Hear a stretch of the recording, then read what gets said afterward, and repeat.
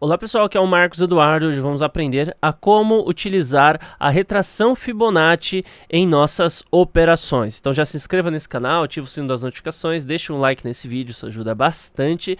E estamos aqui na Binance no par BTC BRL.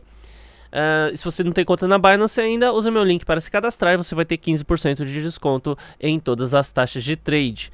Aqui então estamos em modo automático, escala logarítmica, Trading View, eu vou dar um zoom aqui.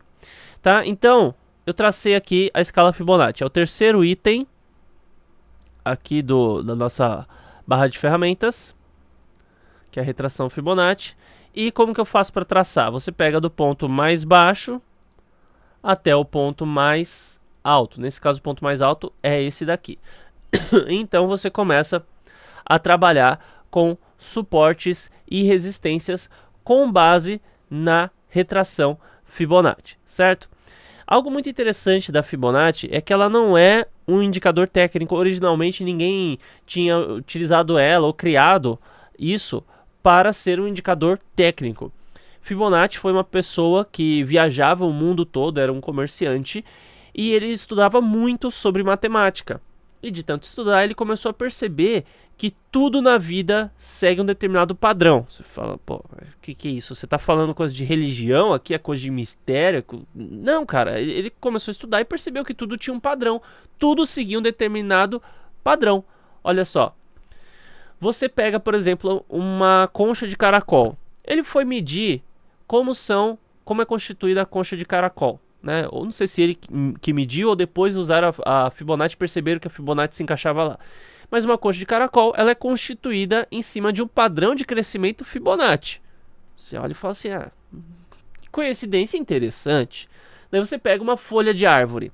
Uma folha de árvore, ela tem métricas estabelecidas originalmente com base em padrão Fibonacci.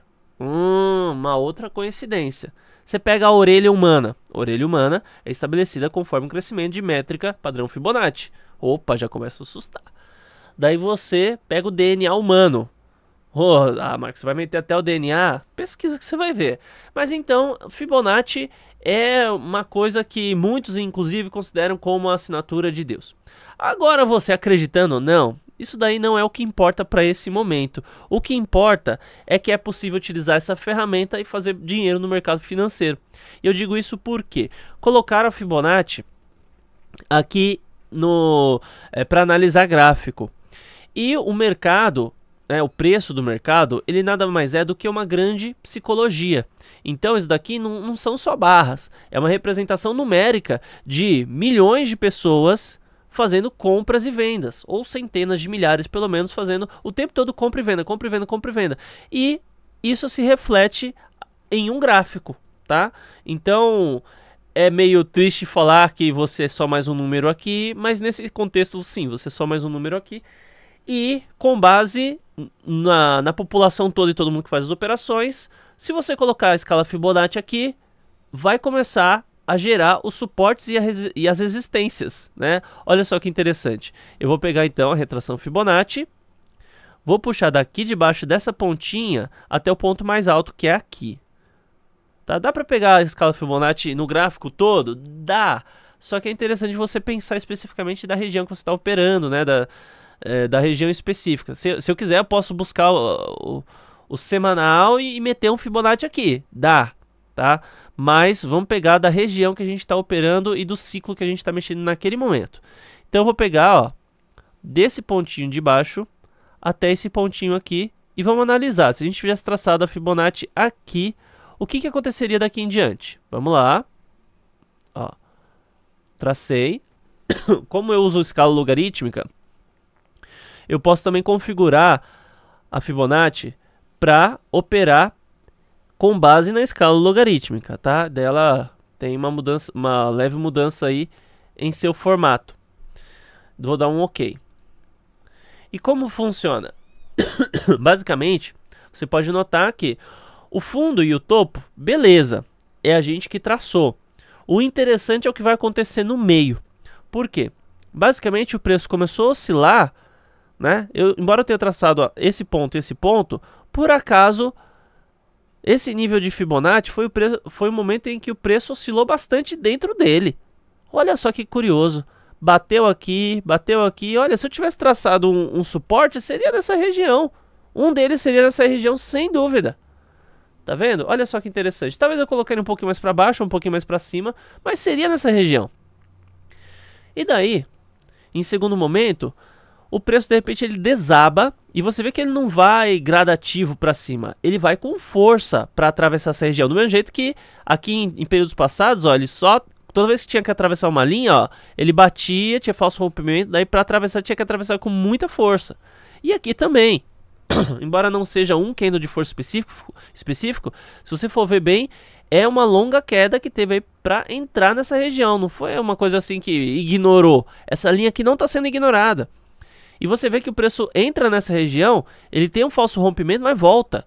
E começa ó, a oscilar de novo, de novo, de novo. Ó. Ele até tem um falso rompimento, opera com dois candles acima, rompe para baixo.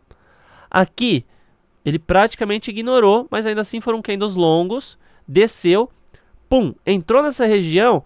Nossa, Marcos, e nessa região depois começou a subir que nem louco. É porque o segredo da operação está nessa região. É isso que é interessante. E daí depois, ó, pum, rompeu com força, rompeu com força e só parou quando chegou aqui nesse nível, novamente. Tentou até romper de novo aqui com o padrão de Bart, mas seguiu subindo até o momento. Então, o, o que segredo é esse? Como que funciona isso? Então vamos lá.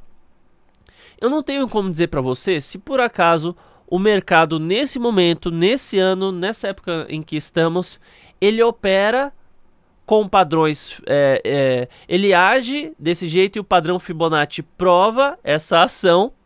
Ou se ele age desse jeito porque todo mundo usa Fibonacci. A gente não tem como saber. Mas a questão é que Fibonacci funciona. É isso que importa para esse momento, dependendo da sua fé, dependendo do que você quiser.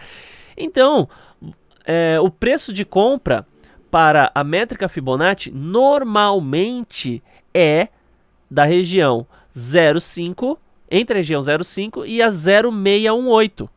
Então, essa daqui é uma região de compra que estava todo o mercado financeiro que usa Fibonacci, que traçou daqui em diante, esperando chegar desde esse momento. 11 de abril, ó, você viu que teve aqui, 11 de abril de 2023, foi quando bateu esse topo.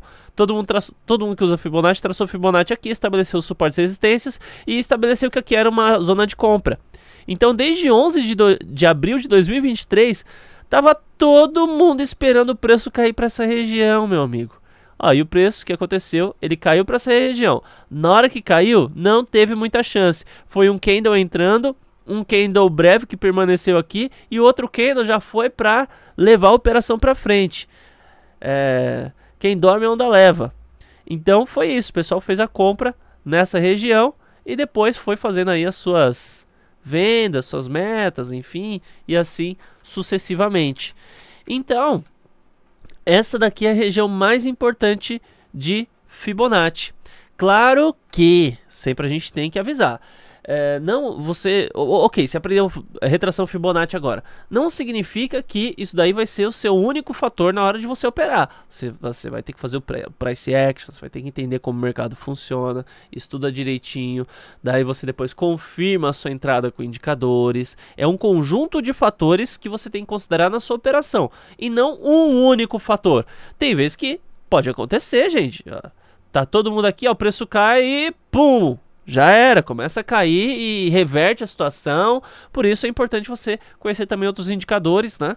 É, e tem também o meu treinamento que está aqui na descrição, caso você queira aprender a como operar no mercado financeiro, tanto é, fazendo dinheiro com renda passiva quanto através de trade, é, tá tudo explicado aí, tá? Então, se você quiser, tem essa opção.